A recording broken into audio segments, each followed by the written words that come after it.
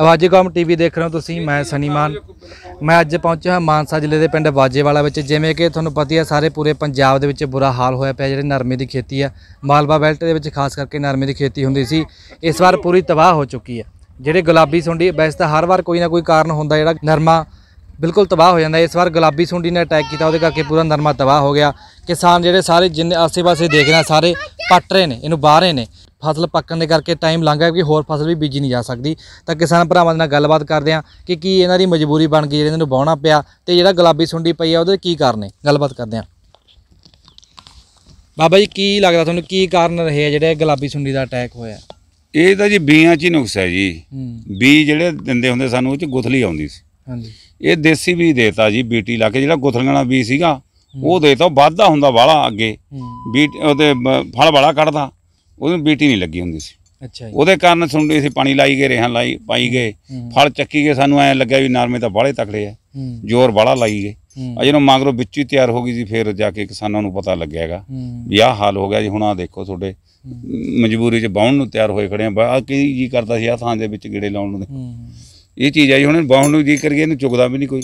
ਹਾਂਜੀ ਹਾਂ। ਤੇ ਹੁਣ ਗਾਹਾਂ ਵਾਲੀ ਬੀਜਣ ਦਾ ਕੀ ਕਰੀਏ ਨੱਕ ਮੋੜਿਆ ਪਿਆਗਾ ਅੱਗੇ ਖਰਚੇ ਨੇ ਦੱਸੋ ਇਹ ਜਿਹੜੇ ਬਾਹਰ ਨੇ ਇਹ ਵੀਰ ਦੀ ਫਸਲ ਹੈ ਤੁਸੀਂ ਦੇਖ ਲਓ। ਇਹਨਾਂ ਦੇ ਹੱਥ 'ਚ ਟਿੰਡੇ ਆ। ਆਹ ਦੇਖੋ ਇਹਦਾ ਕੀ ਹਾਲ ਹੈ। ਬਿਲਕੁਲ ਸਾਰਾ ਖਤਮ ਹੋ ਗਿਆ। ਗੁਲਾਬੀ ਸੁੰਡੀ ਜਿਹੜਾ ਬੜੇਵੇਂ ਦੇ ਅੰਦਰ ਤਿਆਰ ਹੁੰਦੀ ਹੈ ਤੇ ਅੰਦਰੋਂ ਖਤਮ ਕਰ ਦਿੰਦੀ ਹੈ। ਆਹ ਦੇਖੋ। ਵੀ ਤੁਸੀਂ ਇਹ ਜਿਹੜਾ ਕਿੰਨਾ ਜਿਹੜਾ ਤੁਸੀਂ ਜਗ੍ਹਾ ਤੁਹਾਡੀ ਆਪਣੀ ਆ ਜ਼ਮੀਨ ਤੁਹਾਡੀ ਆਪਣੀ ਸੀ ਜਿਹੜੇ ਵਾਹੀ ਹੈ ਕਿੰਨੀ ਤੁਸੀਂ ਠੇਕੇ ਤੇ ਲਈ ਹੋਈ? ਸਾਡੇ ਕੋਲੇ ਜੀ ਆਪਦੇ ਕੋਲੇ ਕਿੱਲਾ ਬਾਹਣ ਦਾ ਜੀ ਨਰਮ। ਹੂੰ। ਤੇ ਅਸੀਂ 4 ਕਿੱਲੇ ਇਹ ਠੇਕੇ ਤੇ ਲੈਤੇ ਹੋਏ ਆ ਜੀ। ਕੀ ਰੇਟ ਤੇ ਲਿਆ ਸੀ? ਇਹ 45000 ਨੂੰ ਠੇਕੇ ਤੇ ਆ ਜੀ ਕਿੱਲਾ। ਅੱਛਾ। ਕਿੰਨਾ ਮਤਲਬ ਪੂਰਾ ਇੱਕ ਫਸਲ ਤੇ ਕਿੰਨਾ ਖਰਚਾ ਆ ਗਿਆ ਤੁਹਾਡਾ? 20000 ਰੁਪਿਆ ਕਿੱਲੇ ਤੇ ਖਰਚਾ ਆ ਗਿਆ ਜੀ ਸਾਡਾ। ਅੱਛਾ। ਹੂੰ। 20000 ਕਿੱਲੇ ਤੇ ਖਰਚਾ ਆ ਗਿਆ ਜੀ। ਸਾਡੇ 45000 ਠੇਕਾ ਹੋ ਗਿਆ 45000 ਠੇਕਾ ਹੋ ਗਿਆ ਜੀ। ਪੱਲੇ ਸਾਡੇ ਕੁਝ ਵੀ ਨਹੀਂ ਪਿਆ ਜੀ। ਹਾਂ। ਆਹ ਦੇਖੋ ਜੀ ਇੱਕ ਟਿੰਡਾ ਵੀ ਨਹੀਂ ਸਾਫ਼ ਜੀ ਫੁੱਟੀ ਵੀ ਨਹੀਂ ਗਿਣਦੀ ਜੀ। ਸਾਰਾ ਨਰਮਾ ਬਾਉਣ ਨੂੰ ਹੁਣ ਮਜਬੂਰ ਹੋ ਰਹੇ ਆ ਜੀ। ਤੁਸੀਂ ਕਿਹਨੂੰ ਜ਼ਿੰਮੇਵਾਰ ਮੰਨਦੇ ਹੋ ਮਤਲਬ ਇਹ ਚੀਜ਼ ਦਾ ਗੁਲਾਬੀ ਸੁੰਡੀ ਦਾ? ਇਹ ਤਾਂ ਜੀ ਸਾਨੂੰ ਤੋਕੀ ਬੀ ਮਾੜੇ ਮਿਲਿਆ ਜੀ। ਬੀਆਂ ਦੇ ਕਾਰਨ ਜੀ ਸਾਨੂੰ ਸੁੰਡੀ ਪਈ ਆ ਨਰਮੇ ਦੇ ਤੇ ਬੀ ਦੇ ਬੀਟੀ ਨਹੀਂ ਲੱਗੀ ਹੋਈ ਜੀ। ਹੁਣ ਤੁਸੀਂ ਕੀ ਮੰਗ ਕੀ ਮੰਗ ਕਰਦੇ ਹੋ? ਸਰਕਾਰ ਤੋਂ ਕਿ ਤੁਹਾਨੂੰ ਕੀ ਕਿੰਨਾ ਮੁਆਵਜ਼ਾ ਮਿਲਣਾ ਚਾਹੀਦਾ? ਘੱਟੋ ਘੱਟ ਜੀ ਸਾਨੂੰ 60000 ਰੁਪਇਆ ਕਿੱਲੇ ਦਾ ਮੁਆਵਜ਼ਾ ਮਿਲਣਾ ਚਾਹੀਦਾ। ਹੂੰ।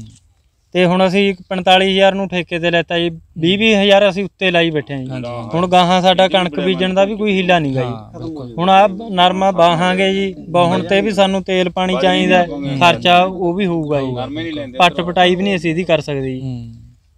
ਇਹਦਾ ਜੀ ਸਾਨੂੰ ਫਸਲ ਨੇ ਜਮਾ ਇਹਨੇ ਮਾਰਤਾ ਇਹ ਬੀ ਮਾੜੇ ਮਿਲ ਗਏ ਸਾਨੂੰ। ਹੂੰ। ਮੂੰਹ ਤਾਂ ਪਾੜਦਾ। ਤੇ ਹੁਣ ਕੋਈ ਹੀਲਾ ਨਹੀਂ ਸਾਡਾ ਜੀ ਮਰਨ ਤੇ ਮਜਬੂਰ ਹੋ ਰਹੀ ਹੈ ਜੀ। ਦੁਨੀਆ ਸਾਰੇ ਆਹ ਸਾਡੇ ਆਸੇ-ਪਾਸੇ ਜਿੰਨਾ ਬਾਣਾ ਜੀ ਸਾਰੇ ਨਰਮੇ ਮਰੇ ਆ ਜੀ।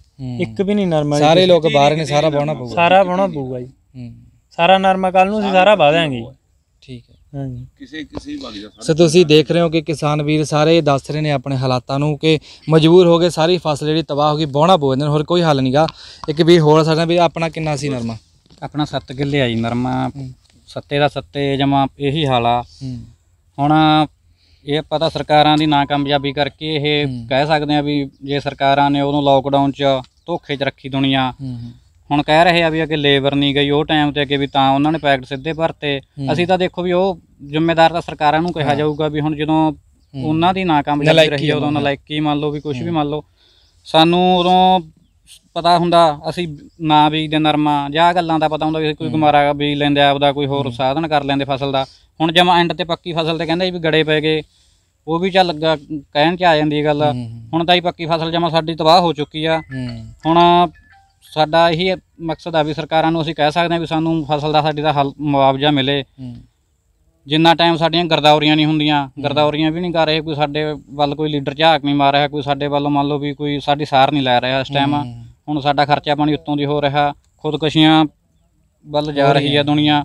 ਇਹਦਾ ਹ- ਬਸ ਖਾਲੀ ਕੁਝ ਕਹਿ ਰਹੇ ਆ ਵੀ, ਅ, ਪਹਿਲਾਂ ਕਹਿੰਦੇ ਹੁੰਦੇ ਸੀ ਕੈਪਟਨ ਦੀ ਸਰਕਾਰ 'ਚ 50 ਮਣ ਨਰਮਾ ਹੁੰਦਾ ਸੀਗਾ। ਹੁਣ ਉਹੀ ਪੁੱਛਦੇ ਆ ਵੀ ਕਿੱਥੇ ਉਹ ਕੈਪਟਨ ਗਿਆ ਵੀ ਜਿਹੜਾ 50 ਮਣ ਨਰਮਾ ਦਿੰਦਾ ਸੀਗਾ ਸਾਨੂੰ ਆਪਦੇ ਬੀਆਂ 'ਚੋਂ ਤਿਆਰ ਕਰਕੇ। ਹੂੰ ਹੁਣ ਉਹੀ ਸਰਕਾਰ ਆ ਕੈਪਟਨ ਦੀ।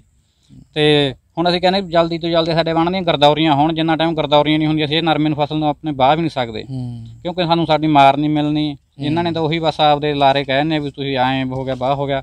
ਸਾਡੀਆਂ ਗਰਦੌਰੀਆਂ ਹੋਣ ਤੇ ਅਸੀਂ ਆਪਦੇ ਨਰਮਾ ਵਾਹ ਕੇ ਕੋਈ ਅਗਲੀ ਫਸਲ ਦਾ ਇੰਤਜ਼ਾਮ ਕਰੀਏ ਤੇ ਸਾਨੂੰ 60 ਤੋਂ 70 ਹਜ਼ਾਰ ਰੁਪਇਆ ਮੁਆਵਜ਼ਾ ਮਿਲਣਾ ਚਾਹੀਦਾ। ਜੇ ਸਾਨੂੰ ਨਾ ਮਿਲਿਆ ਅਸੀਂ ਕੋਈ ਹੋਰ ਆਪਦਾ ਸੰਘਰਸ਼ ਕਰਾਂਗੇ ਫਿਰ ਅਸੀਂ ਧਰਨਿਆਂ ਧਰਨੇ ਤਾਂ ਸਾਡਾ ਹੱਲ ਹੈਗੀ ਆ ਲਾਈ ਜੰਨੇ ਆ 9 ਮਹੀਨੇ ਤੋਂ ਗ- 11 ਮਹੀਨੇ ਹੋ ਗਏ ਅੱਜ ਦਿੱਲੀ ਬੈਠਿਆਂ ਨੂੰ। ਖਜ਼ਾਨਾ ਮੰਤਰੀ ਦੇ ਮੂਹਰੇ ਬਾਦਲ ਦੇ ਧਰਨਾ ਲੱਗ ਰਿਹਾ ਉੱਥੇ ਜਾਣਾਗਾ। ਧਰਨਿਆਂ ਦਾ ਹੱਲ ਹੀ ਆਈ ਸਾਡੇ ਕੋਲ ਹੋਰ ਤਾਂ ਕੋਈ ਹੱਲ ਨਹੀਂ ਸਰਕਾਰ ਤਾਂ ਮੰਗ ਕਰਦੇ ਆ ਬਸ ਵੀ ਇੱਕ ਪੱਤਰਕਾਰ ਵੀਰਾਂ ਧੰਨਵਾਦ ਜਿਹੜੀ ਸਾਡੇ ਖਬਰ ਜ਼ਿਆਦਾ ਤੋਂ ਜ਼ਿਆਦਾ ਲੋਕਾਂ ਤੱਕ ਲਿਜਾ ਰਹੇ ਆ ਧੰਨਵਾਦ ਜੀ।